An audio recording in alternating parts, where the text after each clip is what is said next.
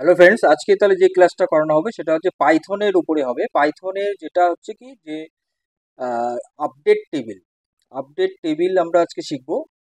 আমি অলরেডি তোমরা স্ক্রিনে দেখতে পাচ্ছ যে পাইথন ওপেন করা আছে। এবার পাইথনে আমি যে ফাইলটা করেছিলাম শুরু থেকে, সেই ফাইলটাকেই আমি কাজ করব। তাহলে আমি ওপেন করে নিচ্ছি ওই ফাইলটাকে যেটা আমার এখানে সেভ করা ছিল। শুরু থেকে এই ফাইলটা দিয়ে আমার কাজ হচ্ছিল। তো এইখানে তোমরা যারা শুরু থেকেই ভিডিওটা দেখে আসছো, তারা সহজেই বুঝতে পারবে। আর যারা নতুন আমার এই ভিডিওটা বা এই ক্লাসটা দেখছ, তাদেরকে আমি বলব কি যে তোমরা শুরু থেকে ডেটাবেস যেখান থেকে শুরু হয়েছে পাইথন ডেটাবেস সেখান থেকে তোমরা দেখে আসবে, তাহলে তোমাদের কাছে এটা ক্লিয়ার হয়ে যাবে। তাহলে আজকে যেটা আমি করাবো, সেটা হচ্ছে পাইথনের টেবিলকে আপডেট করা। তাহলে অলরেডি আমার এখানে যেটা পুরনো যে কোডিংটা এখানে করানো আছে, যে আগের যে ফাইলটা যেখানে কি যে অলরেডি আমার এখানে স্টুডেন্ট ডেটা বলে একটা টেবিল ছিল।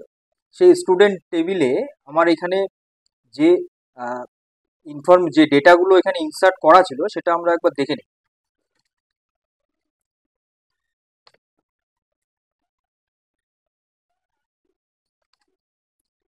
এটাকে আমি কমেন্ট করে দিচ্ছি।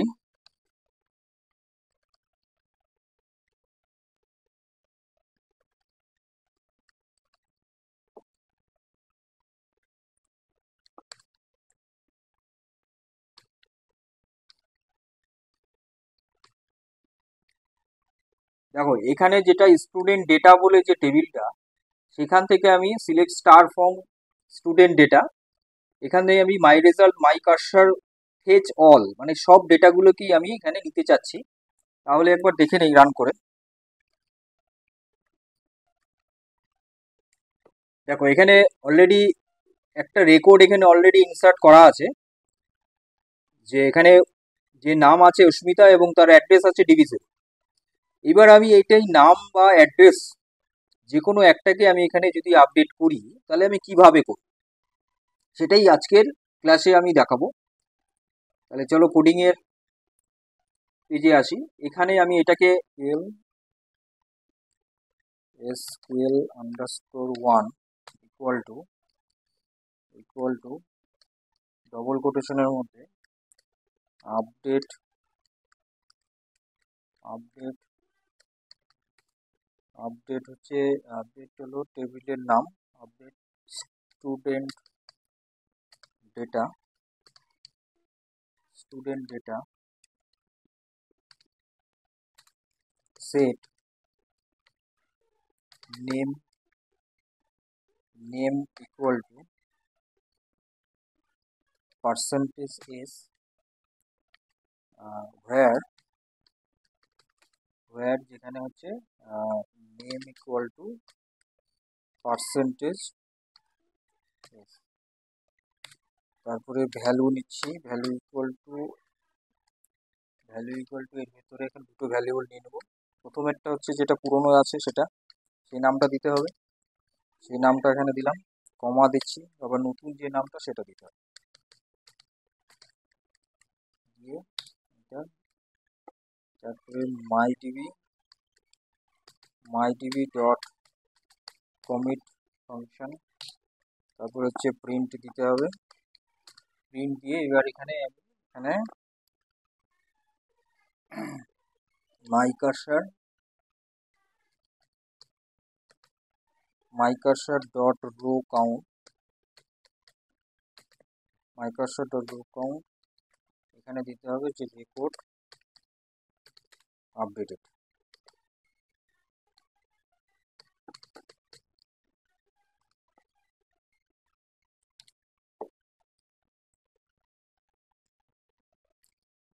দেখি রান করে দেখি। হ্যাঁ ওয়ান রেকর্ড আপডেট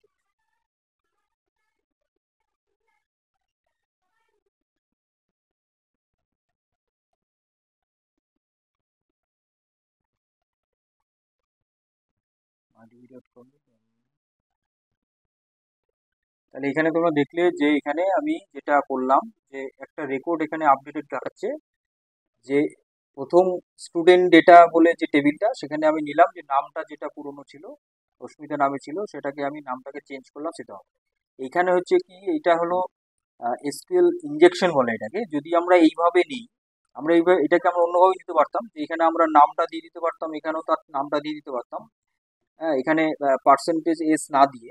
কিন্তু এতে দেওয়া কি? এতে হচ্ছে যে হ্যাকিংটা থেকে এখানে প্রিভেন্ট করা যায়। যেটা অনেক সেফলি হয়। তাই এটা করাটাই বেটার ওর জন্য এখানে এটা এইভাবে করা হয়েছে কি স্কেল আন্ডারস্কোর ওয়ান বলে একটা ভ্যারিয়েবলের মধ্যে নেওয়া হয়েছে, তারপরে ভ্যালু বলে, তারপরে মাইডিবি ডট কমিট তো অবশ্যই দিতে হবে, নাহলে আপডেট নেবে না। আর প্রিন্ট করে দিচ্ছে যে রেকর্ডটা কত রেকর্ড আপডেট তাহলে তোমরা দেখলে যে আপডেশন টেবিল আপডেশন টেবিলের ডেটা আপডেশন করা সেটা পুরো প্রসেসটাই আমি দেখলাম। একদম শুরু থেকেই প্রোগ্রামটা ছিল, আছে এখানে, করা তোমরা দেখতেও পাচ্ছ। প্রথমে যা টেবিল করা ছিল তারপরে সেই টেবিলে ডেটা ইনসার্ট করা হয়েছে। তারপরে আজকে সেই ডেটাটাকে আপডেট করানো। তাহলে এটা আশা করি তোমরা বুঝতে পারলে। পরবর্তী ভিডিও নিয়ে খুব তাড়াতাড়ি আসছি। ততক্ষণ পর্যন্ত তোমরা সুস্থ থাকবে, ভালো থাকবে আপডেটেড থাকবে এবং এই policy of and computer learning সেন্টারের সঙ্গে থাকবে। আমি স্টেট কন্ট্রোল বলছি, আমার সাথে।